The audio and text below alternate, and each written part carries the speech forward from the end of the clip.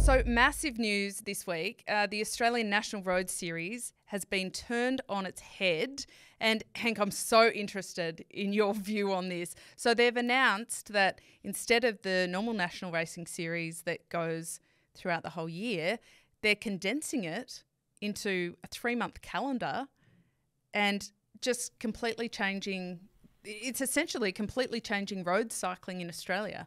Um, Hot or not? What do you think about Hot. this? Hot, hundred percent. We've got uh, some title sponsors, so they help bring this, bring it up. So we're going to have um, more media, more television, um, and it's all condensed into a three month period. So what we had from January through till October, even mid November, will just be put into a three month period. So for any young up and coming male or female cyclist that wants to race in Australia, they just know they have to be good from January to the end of April. So that's pretty good, actually, right? So people can get form for the nationals and just keep form and have a really distinct season, Yep. and then head to Europe, head to Asia. Yes, hundred percent. Because I mean, I don't think there are enough races to just race for the whole year. Those days are gone, um, and I think that everyone wants to race in Europe. Um, even at a young age, I think it's good. You can go to Europe and race um, kermesses, um, club events, because there's three, four a week in all countries.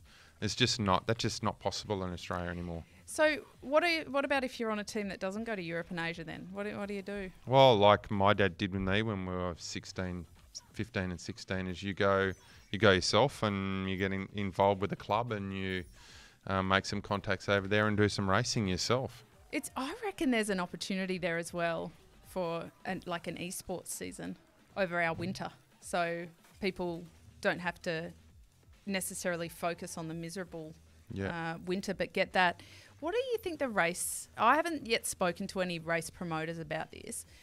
What do you think the Tour of Tassie, with all their history, or you know, a lot of these races that have been around for a long time, Grafton to Inverell, is this a chance for them to renew? Yes, I think so. And um, they they are involved in the first three months, so that'll all be condensed in the first three months. Oh, so Tour of Tassie at the beginning of the year will be an interesting one. Look, it hasn't been said explicitly, but this has kind of come about because people have been talking about it for years. The NRS is dead. Road cycling is It's on dying. its knees. Is that like is that the genesis of this? Um, I think it's been getting more difficult and more difficult to run road races in Australia with the police and shutting roads and how expensive it is. Um, and I think that um, the NRS was pretty much on its knees. There was no innovation whatsoever to make it any better.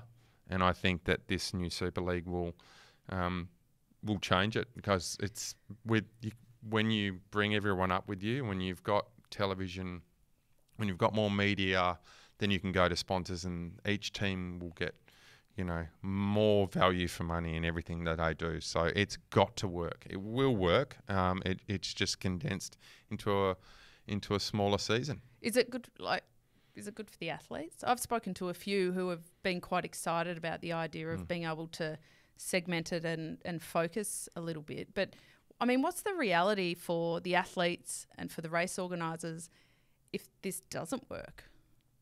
Like, I mean, if the NRS was dead or there needed a new solution, Hmm. is there any backtracking if this isn't the solution? I I don't think that there will be any issues um, because they're still the same races. They're just going to be condensed, uh, and it may be.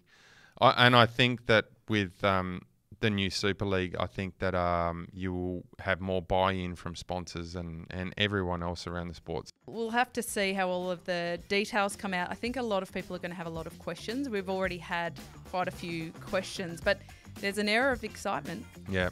Well, So- we'll, we'll let uh, the organisers and, and the backers there get into that. They can, yeah, they can answer all the uh, prickly quest- questions. We're just here to talk about uh, all the other stuff. I think it's going to be great. Unreal. Thank you.